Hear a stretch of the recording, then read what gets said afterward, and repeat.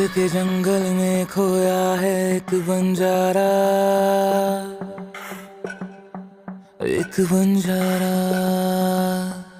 वक्त